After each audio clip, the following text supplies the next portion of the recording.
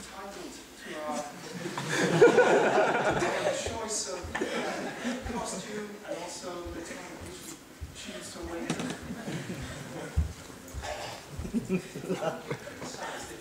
demonstrated some sort